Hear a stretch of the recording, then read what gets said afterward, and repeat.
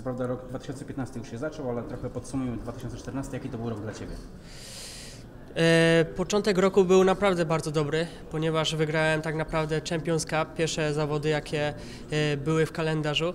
Potem był, przeszło do Supermaster Series, gdzie byłem liderem wszystkie trzy, trzy rundy, e, ale ostatnia niestety była troszeczkę nieudana, ponieważ w półfinale zatarłem motor i to mi dało dopiero trzecią, trzecie miejsce. Przez to tak naprawdę straciłem pierwsze miejsce.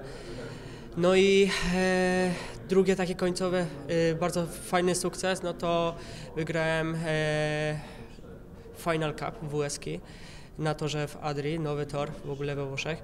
E, Mistrzostwa Europy i Mistrzostwa Świata troszeczkę pechowo, ponieważ e, były małe defekty, wypadki i tak dalej.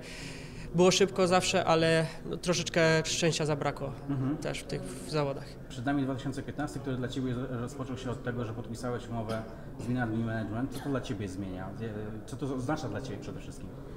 E, W tym roku zdecydowaliśmy się, e, tak naprawdę już w zeszłym roku rozmawiałem z nim, e, z Minardi e, o współpracy, że chce mi bardzo pomóc, e, ponieważ nie jest za łatwo, żeby pójść krok dalej, na przykład do aut i tak dalej, bo nie ma budżetu. Ale e, będziemy starać się w tym roku skupić się na e, kontaktach, e, na partnerach na 2016 rok. E, W tym roku i tak już podpisałem kontrakt z jednym teamem kartingowym, więc dlatego też e, skupiam się na tym roku e, bardzo mocno e, w kartingu, ale także, żeby e, zdobyć paru partnerów na 2016 rok. Dobrze, to gdzie zobaczymy Ciebie w 2015 roku?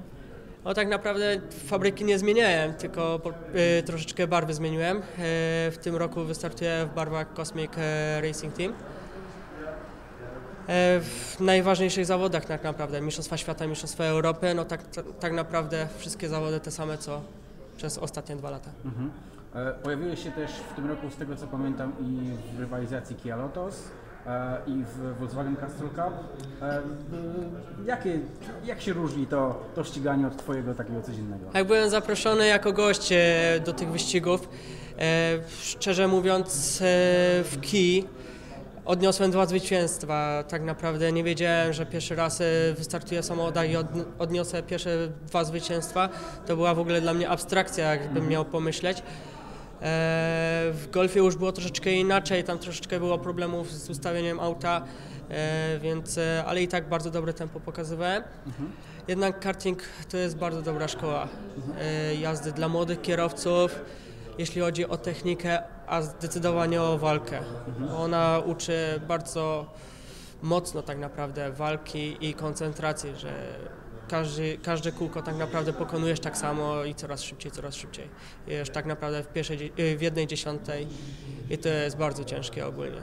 To powiedz mi w takim razie e, dalej, to będą jednak e, po kartingu, będzie cały czas karting, czy może jednak chcesz przejść nie do single-seaterów, samochodów, jak to wygląda? Nie, no, jak Ty sobie to planujesz? Tak naprawdę to single seatery to troszeczkę za późno są, ponieważ ja już mam 23 lata. E, już.